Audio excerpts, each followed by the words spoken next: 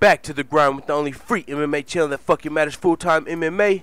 And El Jefe Dana White's coming out giving an update on Cody Garbrandt's back injury. Cody no love. Cody no back. that shit is funny every time I see that shit in the comments. Anyways, he's saying he's hoping to have Cody Garbrandt back by October. He said his back's getting better, his back's progressing. We hope to have him back in October. Cody Garbrandt was scheduled to defend his belt against TJ Dillashaw July 8th. That would have been in seven days. Now the main event instead is Justin Gaethje versus Michael Johnson. I'm actually interested in that fight. Um, there's video out of some pretty serious trash talk between Michael Johnson and Justin Gaethje. If I give you my honest opinion, it looks like Michael Johnson's trying to get Justin Gaethje to attack his ass before the fight. This is a dangerous fight for Michael Johnson to take. He's he's having to fight a guy that's unranked.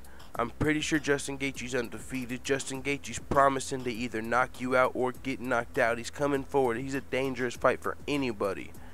And not to mention, I already mentioned it though, he's unranked, meaning Michael Johnson has everything to lose, nothing really to gain with this fight.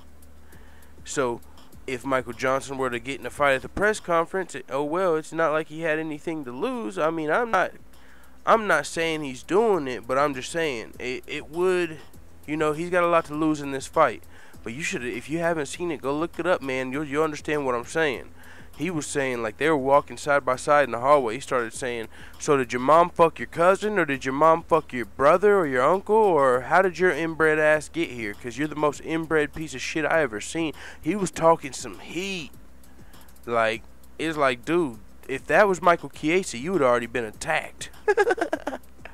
so Justin Gaethje, he didn't attack his ass though. Justin Gaethje, he's gonna leave it for the fucking. He's gonna leave it for the fight next weekend.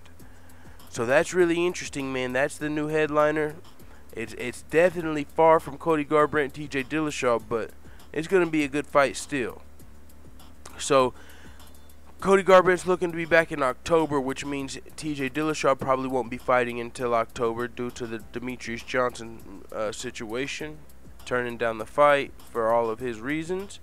So looks like we'll be having to wait two more months for TJ Dillashaw because Cody Garbrandt or Demetrious Johnson are not ready for the fight.